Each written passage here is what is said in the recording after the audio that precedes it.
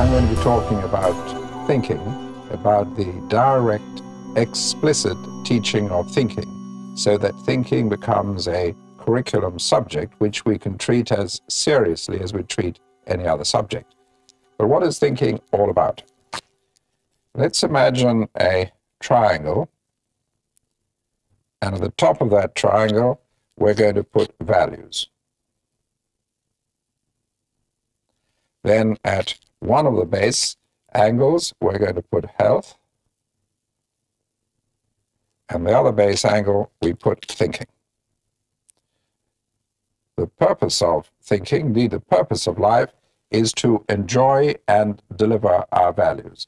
Whatever those values might be, to enjoy and deliver the values. They may be spiritual values, material values, family values, the purpose of life is to enjoy and deliver those values to ourselves and to others. Health is the base. Health supports our ability to enjoy and deliver our values.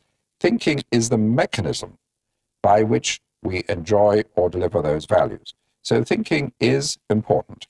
Now let's look at another triangle. And another triangle. At the top, we have constructive thinking. Constructive thinking is how we build things, how we improve things, how we make things happen. Bottom angle, we have critical thinking. The use of judgment stops us doing things which are bad, illegal, polluting, don't work, unfair, and so on. Then at this base, we have creative thinking. All those are aspects of thinking. On the whole, we're not too bad at critical thinking, but we're not so good at the other two.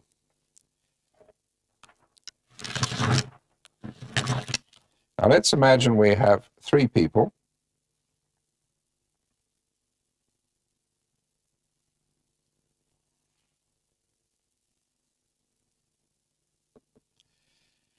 Three people go off to buy a car. The first person has a lot of money. Second person has a big family. The third person has very little money. The first person buys a very nice sports car. Very powerful, very nice sports car. The second person with a big family has to buy a minibus. Third person without much money buys a small hatchback. Now the question I would ask is, which of those three people is the best driver? Which of those three people is the best driver? And the answer is, of course, you can't tell. Having money doesn't make you a big driver. Having needs for a certain type of car doesn't make you a good driver, and so on. In other words, the car that is bought is separate from the skill of driving.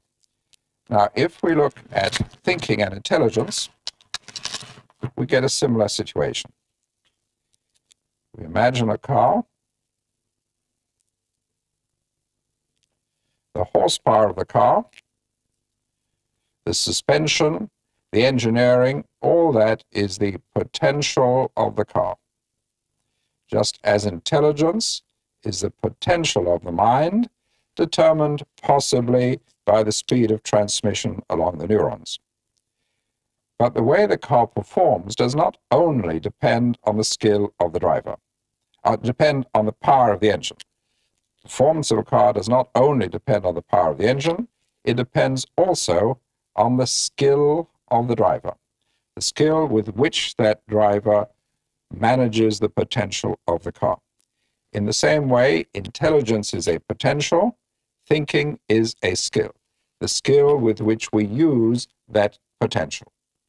That is why it is so essential to teach thinking at both ends of the spectrum. At one end, at the high IQ end, if you don't teach thinking, you risk wasting that high intelligence.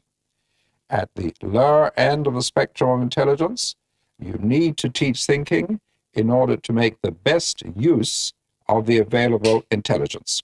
And of course, it applies all the way in between.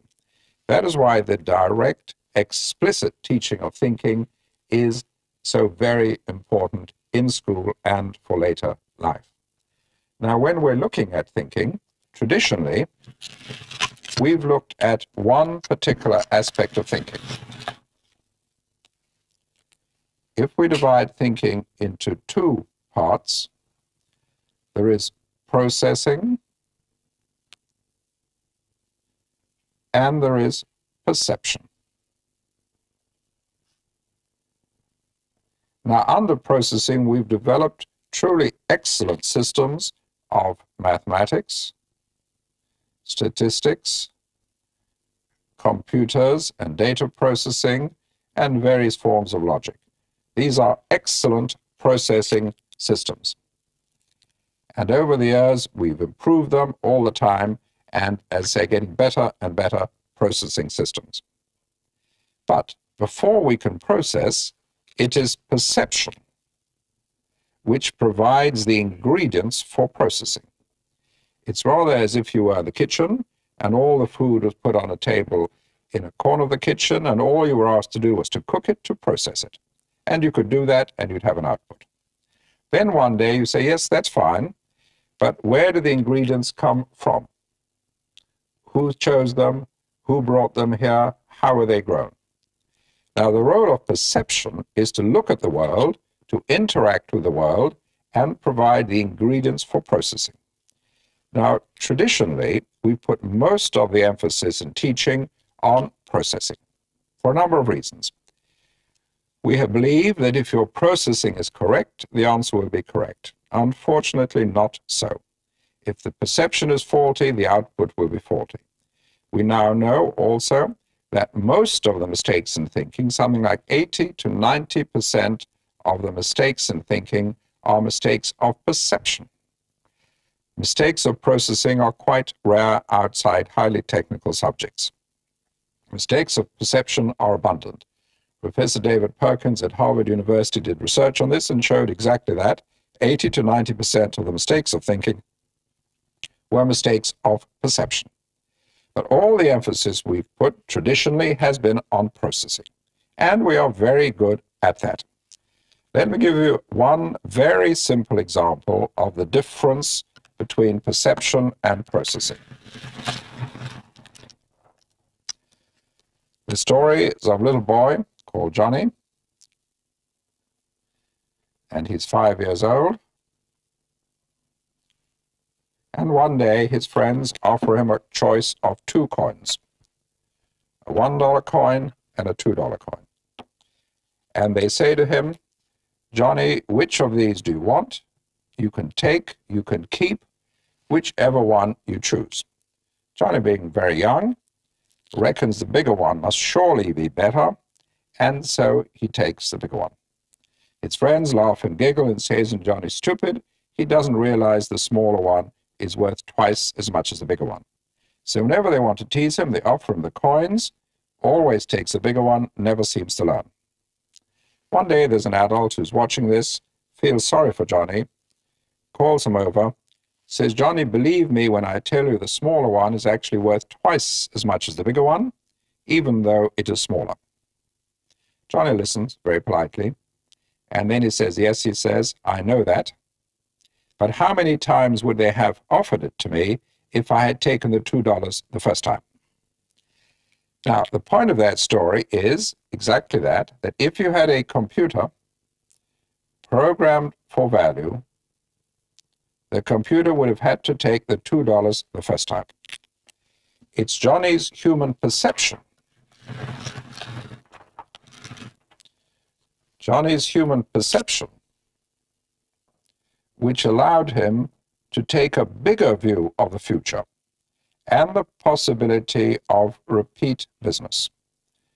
In other words, instead of one $2 coin, coins, the possibility of several $1 coins.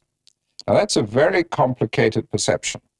He had to know how often he would meet his friends, how long they'd want to go on teasing him, how long they'd want to go on losing $1, how long before they suspected what he was up to, and of course the risk factor. Now, once you've perceived all that, you can indeed try and put it in an expert system in a computer. But you have to perceive it first.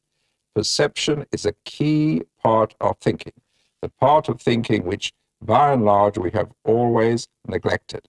because we felt that logic and processing were enough. Let me give you another illustration of what I mean.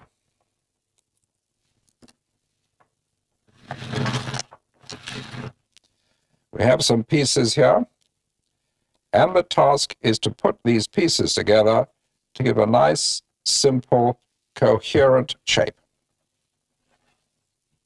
So we can play around with those pieces and try and put them together. The purpose of education is really to show us how to put those pieces together. So now I'm going to try and put those pieces together.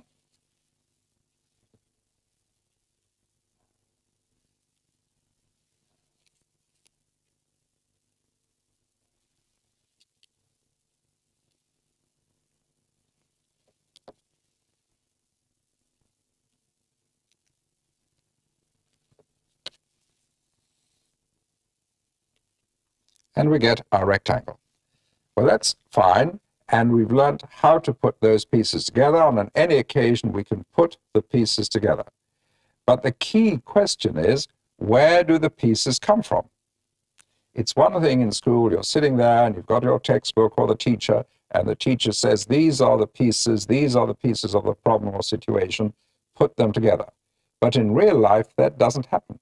In real life, it is your perception which looks at the world and decides which are the pieces. What do they look like? You have to decide the pieces and then you have to put them together. They aren't laid out in front of you.